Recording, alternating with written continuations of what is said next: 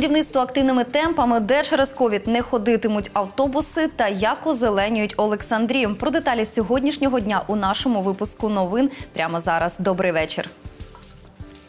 Будівництво відділення екстреної медичної допомоги триває в обласній лікарні. Готовність об'єкту 93%. Це відділення одне з шести, яке створюють у рамках програми Велике будівництво на Кіровоградщині. Перше запрацювало у Добровеличківці. Ще чотири готуються до відкриття. Роботи зі створення відділення екстреної медичної допомоги в обласній лікарні стартували торік восени. Будівельники з нуля звели нове приміщення і з'єднали з основним корпусом. Відділення матиме більші потужності і сучасні можливості. Тут пацієнта обстежать, встановлять діагноз і призначать лікування. Підрядники обіцяють завершити роботи до 20 квітня. Обійдеться проєкт у приблизно 25 мільйонів гривень. Зараз це шосте приймальне відділення. Найскладніші роботи, найбільший обсяг робіт.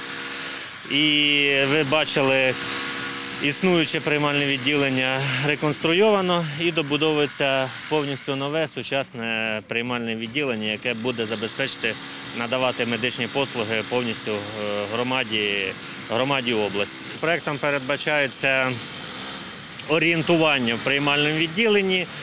І в такий спосіб будуть надаватися послуги більш, ну, по-перше, більш на сучасному обладнанні, яке закуповується за державні кошти державного бюджету по лінії Міністерства охорони здоров'я і НСЗУ.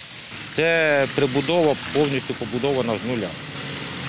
Побудована за останніми новими технологіями, з утепленням. На будівництві працює до 40 е, будівельників, працюють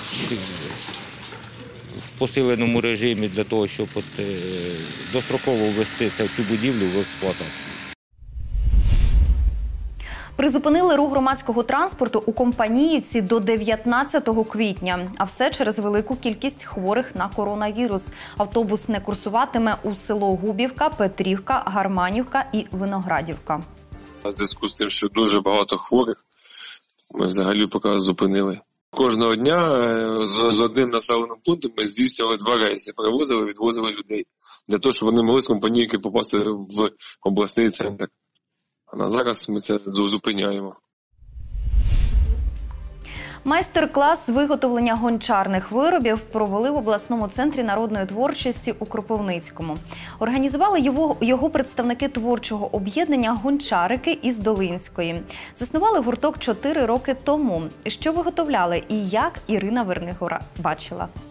Майстер-клас з виготовлення глиняного глечика розпочала майстриня Катерина Бондар. Гончарством дівчина займається вже 4 роки. Каже, це їй допомагає відволіктися від проблем. Використовувала різні інструменти. В основному Сергій Володимирович, наш е, викладач, е, робив власноруч їх. Ось, наприклад, це е, він використовував засоби, які є під рукою. Мені подобається виготовляти, а потім їх доповнювати різьбою. Майстрині Марині Коваленко також до вподоби різьблення по глині. Каже, тут проявляє свою фантазію. Волога глина, ну не зовсім підсохла. Е, Беремо, вирізаємо. От, ви можете спостерігати. Потім воно висихає, ми його шліфуємо, покриваємо пігментом. Е, Добре зафарбовуємо цю частину. Я, наприклад, вибрала ось оцей. Потім зверху, думаю, прикрасити цим. Для виробів глину не купують, а видобувають її самі, каже керівник творчого об'єднання гончарики Сергій Ткачов. В будь-якому селі є глинище. Я проїжджаю там чи на рибалку, чи куди їду. Я приїжджаю, пакетик взяв, вдома приготував, на круг попробував. Отак в результаті такого пошуку ми знайшли два-три місця, два-три місця, де нормальна, е, хороша глина. Втім, аби глину можна було використовувати, її потрібно підготувати. Вона може бути з домішками, вон там камінчики, корінчики, все таке. У відро заливаємо водою і перемішуємо до однорідної маси. І вона буде вже такою, як рідка-рідка сметана.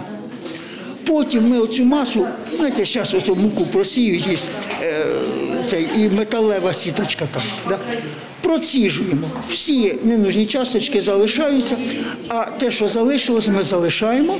От, І декілька днів вона отстаюється. Глина осідає, зверху вода.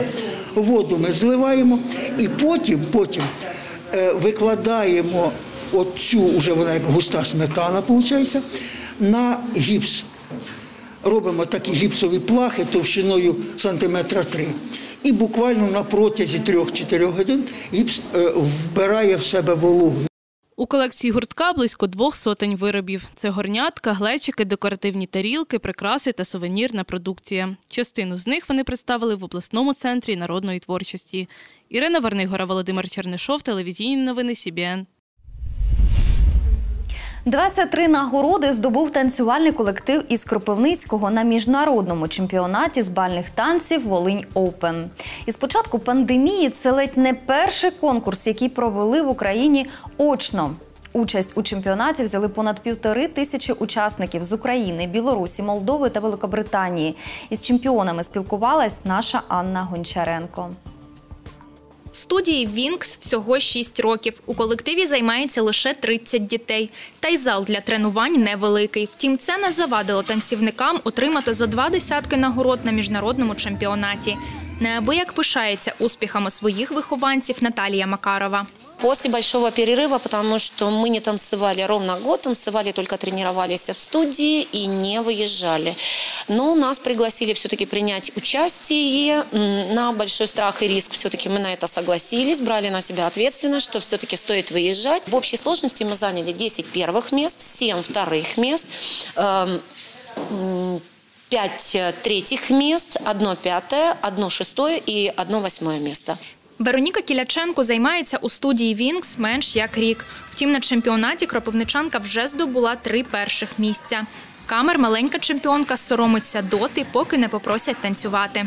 Я була в Луцьку і привезла три перших місць: Які танці танцювали там? чача, вальс і джайв. А який найбільше подобається? Чача. Покажеш нам кілька рухів? Да? Давай.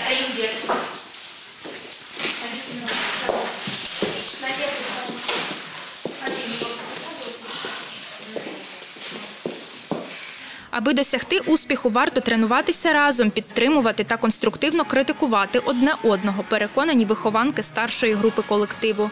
Багато часу дівчата проводять разом, тож встигли стати подругами Але не на паркеті. Там дружби не існує. С детьми, ну, э, юниорская группа с младшими, мы- у нас хороший контакт, мы там всегда вместе им помогаем на конкурсах, поддерживаем хорошо. Мы друзья, конечно, но не на паркете. Когда мы танцуем в одних категориях вместе, то ну, дружба прерывается на 5 минут выступления. Не дивлячись на те, що карантин, ми все ж таки виїхали, і плюсом було те, що ми нарешті виступили. І я отримала третє місце, завоювала кубок. Наталія Макарова каже, двері її студії відкриті для всіх. Ні вади слуху, ні зайва вага чи навіть онкохвороба не можуть стати на заваді любові до танців. Ще підлітком жінка покинула танцювальний зал через травму і вже не сподівалась, що через 20 років виховуватиме чемпіонів. Тепер вона для них не лише тренер, а й приклад. Анна Гончаренко, Катерина Савінова, телевізійні новини СІБІН. Чотири мішки зі шприцами зібрали волонтери на набережній річки Інгулу у Кропивницькому. Толоку провели минулими вихідними. Зібрались майже півсотні небайдужих містян. Лише за дві години вони зібрали 70 мішків зі сміттям. Найбільше було стаканчиків з-під кави, одноразових захисних масок, пляшок з-під алкоголю та шприців, розповідає співорганізатор акції Володимир Лєбідєв. Протягом двох тижнів набережну прибирають втретє. Однак, за словами волонтерів, сміття з'являється на тому ж місці вже наступного дня. Там куча было такого сметя, что человек отдохнул, выпили, накатили, поста- оставили бутылку, стаканчики, а оно ж как, ветер подул и все в реку, поняли? Вот, разлетелось фантики, вот эти чипсы, кола, ну, что, что пьют там на набережной, пиво, сухарики, чипсы и все. И как бы человек, нет даже вот нормального понятия, забери его с собой, даже если нет урн. Понад півсотні туй висадили учасники акції з озеленення в одному з парків Олександрії. Ініціатор суботника, місцевий активіст Анатолій Тримбач. Підтримали його з півсотні небайдужих олександрійців та комунальників. До висадки дерев долучилась і наша знімальна група. У парку молодіжному, що на Садовій, кипить робота. Олександрійці вийшли на суботник, аби принаймні трохи причепурити цю зону відпочинку, яка давно потребує уваги. Кожен учасник отримує символічну зелену стрічку. Я з двома своїми синами прийшов з Кирилом і Максимом. Ну і со мною прийшла там група е, студентів молодих, їх 8 чоловік. У них е, псевдонім «Дев'ята рота, так називаємо. Ну чого це секрет? Дітей привчаю садити дерева, це ж нормально. Пи- Пилять дерева у нас всі можуть, а садити треба привчати, та і все. Ну все намного проще. До акції долучилися і маленькі олександрійці, які прагнуть, щоб легені міста дихали наповну завдяки новим зеленим насадженням. Я прийшла з мамою, я сажаю дерева для того, щоб моє місце, місце було зеленішим на всій планеті. Акцію з озеленення ініціював керівник благодійної організації Шлях до життя Анатолій Тримбач. Такі заходи громадський активіст проводить регулярно навесні і восени. В этом году мы планируем хотя бы провести таких 2-3 акции весной. Озеленить наш город. Нашли мы спонсора, это депутат от нашего округа Олег Воронько. Он выделил деньги на деревья, на доставку деревьев, на удобрения, в общем, ну, расходы. Расходы любая акция тянет. Помогло нам с водой чисто место, прислала машину с водой. Людей вышло, как видим, ну, я думаю, больше, чем 50 человек. Працівники комунального підприємства Зеленгосп теж беруть участь в акції, допомагають правильно садити саджанці, аби вони прижилися. Саме це підприємство надалі доглядатиме за молодими деревцями. Тож тепер периметр парку прикрашають 52 туї. Знімальна група Сібєн також долучилася до цієї акції, адже ми жителі цього міста і не можемо залишатися осторонь озеленення рідної Олександрії. Євгенія Ніколаєва, Олександр Сержак, телевізійні новини Сібєн. Саме час виходити на присадибні ділянки. Хто не має власної, сміливо може долучитися до озеленення території навколо. Природа вам віддячить, а от чи сприяє цьому погода, розкаже наша Марія Тарасенко.